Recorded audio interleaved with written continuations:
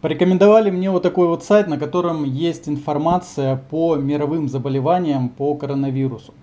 Значит, общее количество заболеваний 8235. Из них 8124 заболевания приходится на Китай. Слева вот есть э, столбик, табличка, а количество заболеваний в разных странах. Вот в Таиланде 14 заболеваний, э, Япония 11, Гонконг, Сингапур, Австралия, Тайвань, Малайзия, Франция есть, Индия есть, Финляндия. В Африке нет, в Северной Америке нет. Также не наблюдается, не выявлено ни одного заболевания а, в России. Ну, самые масштабные заболевания, конечно, в Китае. Оттуда и пошел этот вирус.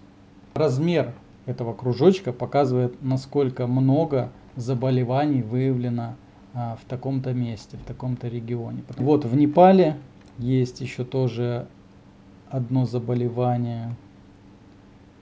А, в Дубае, дальше вот в Финляндии, в принципе, рядом с Россией, уже тут, я не знаю, километров, наверное, около 100 до границы с Россией.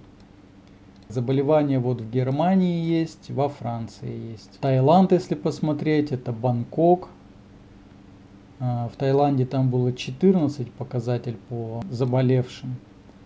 В общем-то, вот такая картина можно смотреть и онлайн наблюдать, в каких странах распространяется и э, заболевания в России. Если они появятся, то также можно на этой карте будет э, смотреть. Сайт, вот он, страница этой карты.